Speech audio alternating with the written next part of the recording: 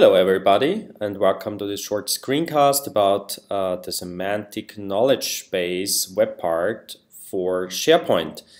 This screencast will uh, give you an example of how to make use of uh, this web part which is based on uh, SKOS, Thesauri and RDF knowledge graphs.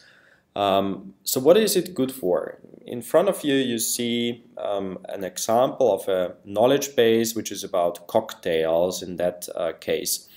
So down here you get a tree view which uh, shows which categories of items are available. So for instance, you see several drinkwares, uh, for instance, um, the champagne stemware or a cocktail shaker and things like that. Um, further up you see different cocktail garnishes, for instance a drinking straw, um, and so on and so forth. Um, on the right side you see uh, in a detailed overview what's related to this certain concept you uh, were looking up. So for instance a drinking straw has um, first of all a picture, a preferred label, some alternative labels, uh, also known as synonyms. Um, it, it has a broader term uh, and related terms. Um, so for instance, it's um, related with uh, Bloody Mary, and down here you see a definition and other metadata like who was the creator and when was the concept created.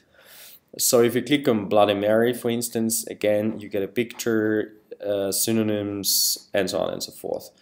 So the whole idea is to make knowledge available of a certain domain. And the whole architecture is um, an interplay between the PoolParty thesaurus manager. So that's the environment in which you create the knowledge graph um, and the web part in the SharePoint server. So that's the web part in the SharePoint server. And in that case, it's mainly good for browsing, exploring, and searching over the knowledge graph. Of course, it could be extended also with um, facilities to edit certain um, parts of the knowledge graph uh, in a, let's say, more collaborative way in a sense of a crowdsourcing mechanism. But the usual setup is to have a PoolParty thesaurus manager installed in which you can um, extend the knowledge graph, edit the knowledge graph. For instance, you would like to um, search for Bacardi, and Bacardi here has several alternative names, as you can see. Um, those can be deleted or edited. Um, you have broader concepts, narrow concepts, and related concepts. Um, and also definitions. And it's linked to um, publicly available uh, knowledge graph called DBpedia and from there you can further extend the knowledge around this certain concept. And exactly this is the source which is used uh, by this application.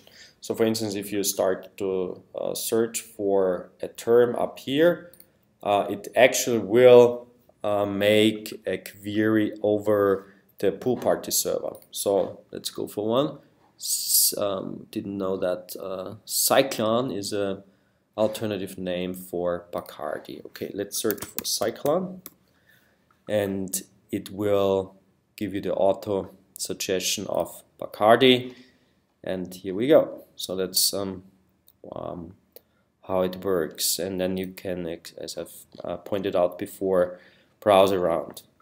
So that's the main uh, functionalities of this web part. Um, it's multilingual, it has advanced search features, so for instance you can uh, search only in the preferred label or also in the synonyms or, or, even in the hidden labels and descriptions, so that's something you can set up here. So that was the example just before. If you have a certain synonym, you will still find the corresponding concept. And you can also filter uh, certain uh, criteria. Let's say it's I'm only interested in um, Italian um, um, distilled beverages. So here I get grappa, I get Italian liquors, and here I get all the Italian liquors like Amaretto, Aperol, Campari, and so on and so forth. So that's another way how to um, browse the knowledge graph. Here's the tree view, here's the list view, and up here you get the uh, breadcrumb navigation. And in addition to that, you can search, as I've showed before, over all the different labels and synonyms of a concept. Yeah, and if you want, uh, you can even display concepts on a map. So let's say I'm interested in Austrian cocktails or at least drinks. You will find, okay, there's Jagertee, for instance, or Vodka Red Bull, and you can display that on a map. So here you can see, okay, ah, there's Austria.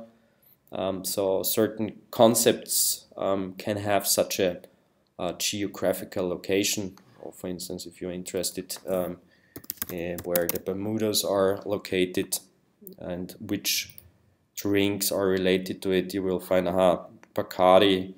Bacardi is headquartered in this country and it's um, somewhere in the middle of nowhere in the North Atlantic Ocean.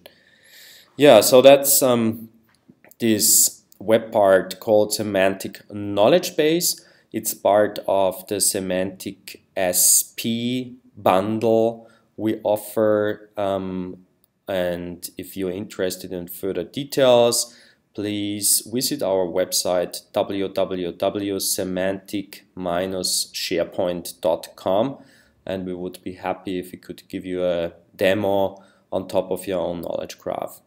Okay, thanks a lot for your attention and hear you soon. Bye bye.